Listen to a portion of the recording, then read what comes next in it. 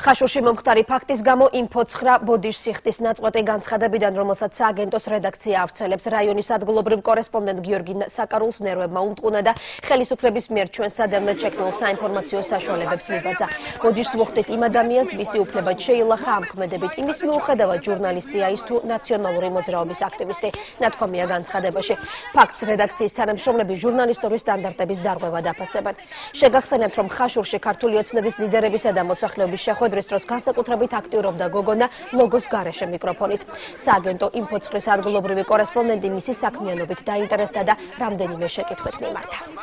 თავისუფალი მედიიდან ხო ხარ? თუ ნაციონალური მოძრაობის პრეს-ცენტრიდან ხარ?